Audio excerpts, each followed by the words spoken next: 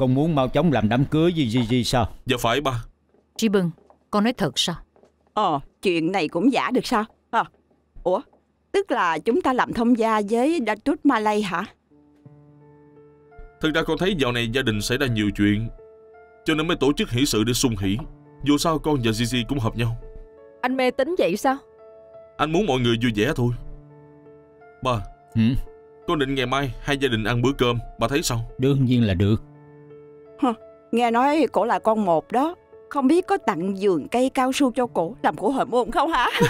Chúng ta cần gì thăm vườn cao su của người ta? Nhưng mà sau này làm thông gia Đôi bên hợp tác cũng tốt.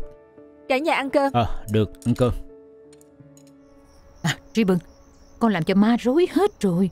Mấy hôm trước á, con mới nói với má Là thư ký của con có thai với con. Bây giờ quay lưng đi á Con lại đòi đám cưới với Gigi. Con làm gì vậy Chẳng phải con nói với má con không thích cổ sao? Nhiều khi người mình thật sự yêu Và người mình đám cưới Chưa chắc là cùng một người. Má Má là người từng trải Đáng lý má phải hiểu. Có nghĩa là có gì hạng một sòng bạc mới đám cưới với Gigi đúng không? Đó chỉ là phần thưởng. Quan trọng nhất là Nếu thân thế của con bị người ta dịch trần ra Ba biết con không phải là con ruột Thì con sẽ trở thành hai bàn tay trắng Tất cả cũng tại lỗi của má. Nếu không tại năm xưa má quyết định sai lầm Sẽ không làm cho anh em con ra nông nổi như bây giờ. Bây giờ quán trách cũng vô ích thôi. Bây giờ trước mắt chuyện cần phải làm Là lót đường cho mình. Chỉ cần con làm con rể của Datus Malay Dù con có mất đi thân phận người kế thừa khâu thị Con dựa vào hạng một sòng bạc Cũng còn chút vất vát Còn cái thai của cô thư ký đó Còn tính xử lý sao đi? Linda biết cư xử hơn Gigi. Con sẽ tìm cơ hội nói rõ với cô Nhưng đâu có phụ nữ nào Chịu chia một nửa người đàn ông mình yêu Cho người khác đâu chứ. Về chuyện này Tới đâu hay tới đó. Bây giờ quan trọng nhất là bảo vệ tương lai của con. Nếu không sau này Chỉ có con và má Cho dù là cháu của má Cũng không có ngày yên ổn đâu. Ừ Hy vọng thư ký của con Nó biết lo cho đại cô.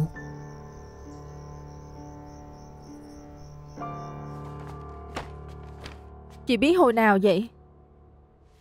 Dạo trước á Thấy em ăn uống kén chọn Lại buồn nôn muốn ói.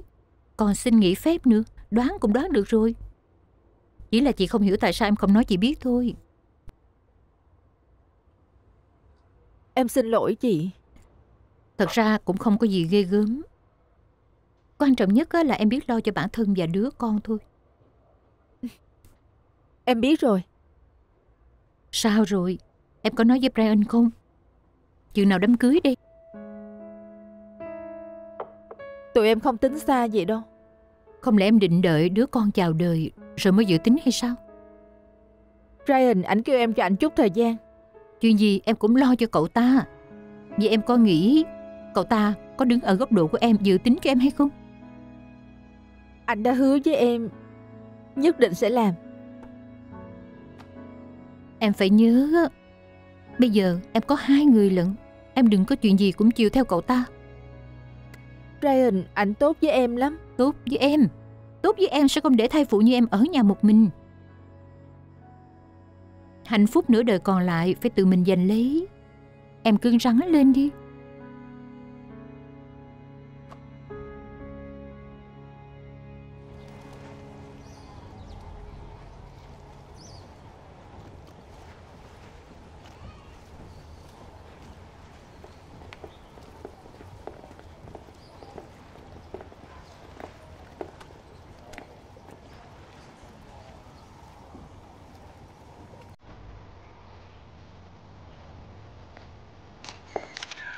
Rồi tạo dáng Rồi, lên đẹp đi lắm, đẹp lắm. Rồi. Rồi đẹp lắm.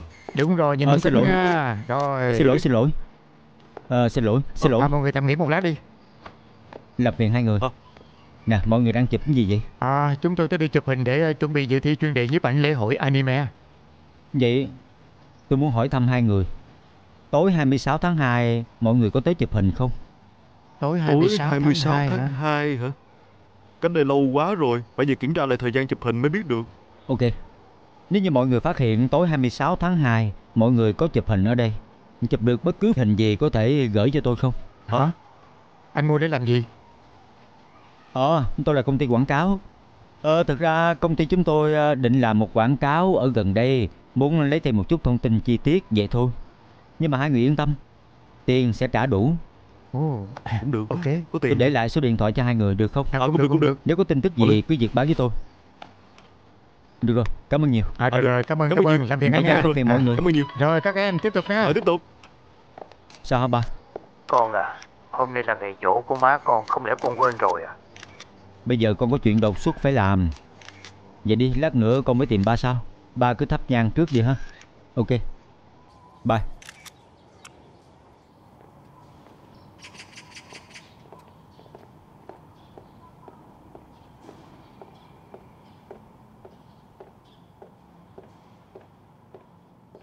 Anh không cần giả bộ chung thủy ở đây. Nếu năm xưa, anh thương con hơn Lý nào lại làm cho nó bị chứng trầm cảm? Nó còn trẻ, Mà đã ra đi, Làm cho đứa con còn nhỏ đã mồ côi mẹ. Vậy mà bây giờ, Anh còn mặt mũi nào tới giếng nó? Tôi hỏi anh Anh ăn nói sao với nó? Em của tôi đã bị loại người như anh hại chết. Giá nào tôi cũng không tha thứ cho anh.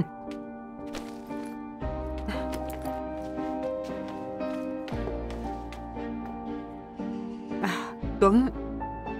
Chào dì. Năm xưa má con không phải bị tai nạn đụng xe chết sao? Sao dì lại nói má bị ba hại chết chứ?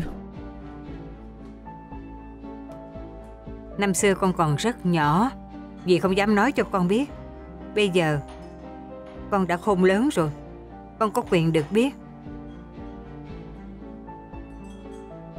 Năm con 3 tuổi Dì vô tình biết được. Má con bị bệnh trầm cảm. Dì hỏi mãi, Nó cũng không chịu nói cho dì biết Về lý do gì. Sau khi dì gặn hỏi, Thì mới biết. Thì ra là người cha đáng ghét của con với một người tình, Ở bên ngoài. Lúc đó, Anh ta còn thề độc Hứa với má con Sẽ không quay lại với người đó nữa. Sau này, Bị má con phát hiện được. Không ngờ anh ta còn có con riêng với người đàn bà đó ở bên ngoài. Cuối cùng, làm cho bệnh của má con càng lúc càng nghiêm trọng. Cộng thêm vấn đề uống thuốc lâu ngày. Thường xuyên cảm thấy tinh thần quảng hốt. Chính vì như vậy, có một hôm nó ra ngoài đi chợ. Mơ mơ màng màng bước ra giữa đường. Bị chiếc xe đụng đụng trúng nó. Rồi sau đó,